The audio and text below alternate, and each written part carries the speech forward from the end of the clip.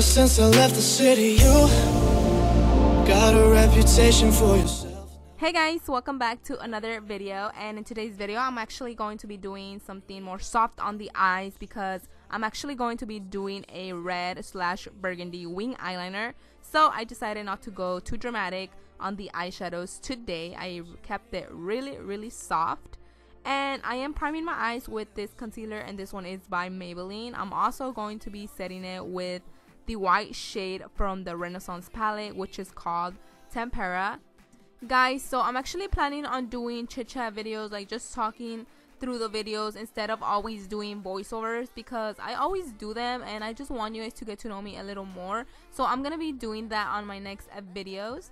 Next i'm going in with this eyeshadow called Raw Sienna and i'm using this brush and it's the morphe m441 and i'm applying this eyeshadow on my crease i also got new makeup brushes and they are from morphe as well but I'm like so excited to use them. Like I get so happy whenever I get new brushes in the mail because I'm like, oh my god, these are like gonna be my favorite. I'm gonna be doing so many looks. So yeah, I'm very excited for that.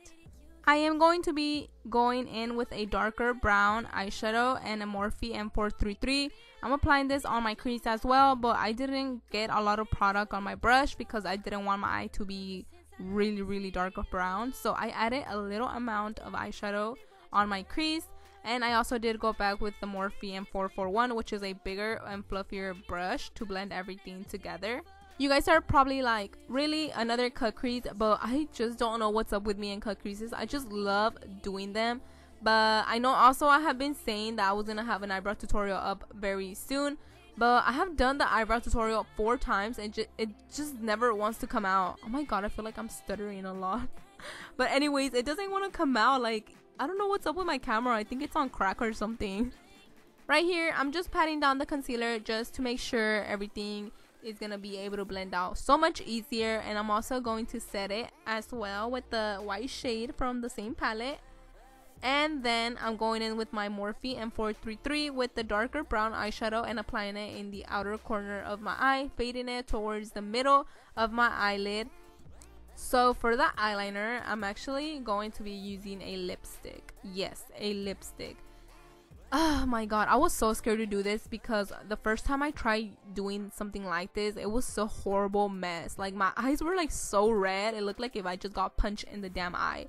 But anyways, this time it actually worked for me. I did use Leo by Kylie Cosmetics and this is just a liquid lipstick. You guys could use any burgundy or red lipstick you guys have. It'll work as great. Just be careful while doing this because it could get very messy and especially if you're using a different makeup brush it's not gonna work as great as if you use a eyeliner brush. This is an eyeliner brush by tarte so it worked great for me. I actually used this one for my black eyeliner but i washed it and i used it for the red eyeliner instead because uh, I don't think I'll be able to do eyeliner with any other brush if it's not this one. Isn't it this eyeliner so pretty? Like, I was so shook while doing this. I'm like, damn, how did my eyeliner come out looking so damn good?